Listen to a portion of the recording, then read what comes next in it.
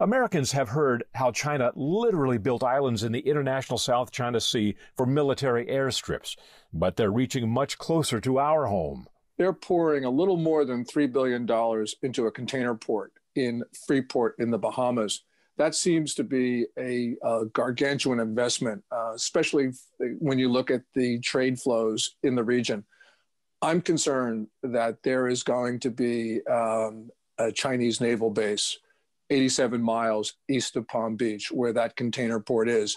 And closer still. Chinese parties seem to be buying um, large blocks in um, Kansas and Oklahoma. Um, I don't know what's up, um, but this is something that should be the subject of intensive investigation by federal and state authorities.